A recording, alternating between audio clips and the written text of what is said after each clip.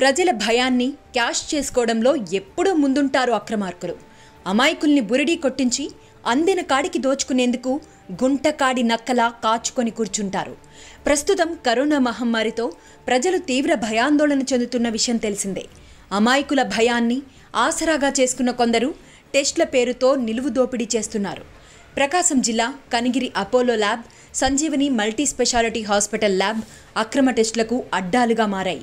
అనుమతులు లేకుండా ర్యాపిడ్ టెస్టులు చేస్తున్నారని సమాచారం అందడంతో పోలీసులు నాలుగు బృందాలుగా ఏర్పడి తనిఖీలు చేశారు. పోలీసుల తనిఖీల విషయం ముందే తెలుసుకొని తాళాలు వేసి పరారయ్యారు ప్రైవేట్ ల్యాబ్ల యజమానులు. కనిగిరి ప్రైవేటు హాస్పిటల్లో మరియు ల్యాబ్లో పోలీసులు తనిఖీలు నిర్వహించారు. వైద్య అధికారులకు తెలియకుండా కోవిడ్ టెస్టులు చేసినట్లు రికార్డులలో తేలింది.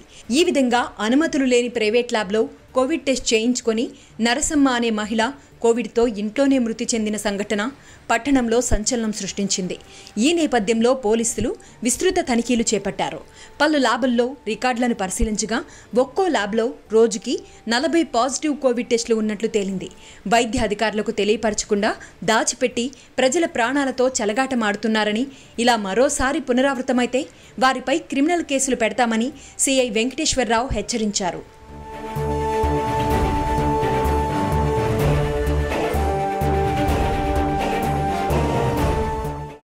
బర్నింగ్ టాపిక్ ప్రతిరోజు ఉదయం ఏడు గంటల ఇరవై ఐదు నిమిషాలకు మీ టీవీ నైన్లో నంబర్ వన్ మాత్రమే కాదు అంతకు మించి.